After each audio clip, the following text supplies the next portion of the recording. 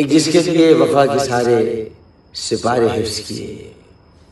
वो शख्स हम पे कुफर का फतवा लगा गया। आमिर लियाकत हुसैन तो चले गए, लेकिन अब उनकी जायदाद का तनाज़ा सर उठाने लगा। दानिया मलिक जो आमिर लियाकत की बेवा हैं, वो दावा करती हैं कि नादरा के रिकॉर्ड में मैं अभी भी आमिर की बीवी हूँ। इस हिसाब से आमिर लियाकत की सारी जायदाद मुझे मिलनी चाहिए।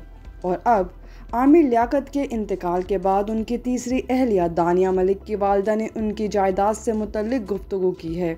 एक इंटरव्यू में दानिया की वालदा ने सोशल मीडिया पर आमिर लियाकत की जायदाद से मुतल की जाने वाली बातों पर गुफ्तु पर जवाब देते हुए कहा कि, हमने खुला का केस दायर किया था और वो जज के पास पहुँचा भी नहीं था कि आमिर लियाकत वफात पा गए।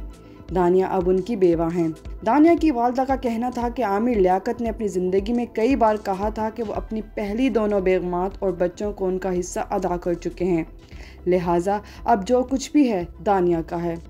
आमिर लियाकत अपनी ज़िंदगी में ये बात कह चुके हैं कि दानिया मलिक अब मेरी बीवी हैं। मैं अपनी सारी जायदाद इसे ही दूँगा।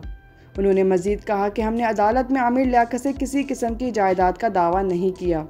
बस तनसीख निकाह का दावा किया था। इस पर फैसला होने से कबल ही आमिर लियाकत वफात पा गए। लिहाजा उसे खुला नहीं, सुलह ही कहेंगे। दानिया मलिक, आमिर लियाकत हुसैन की बेवा हैं। याद रहे कि दानिया मलिक ने इंस्टा स्टोरी पर बताया कि अपने शोहर आमिर लियाकत हुसैन की वफ़ात के बाद वो इद्दत में हैं।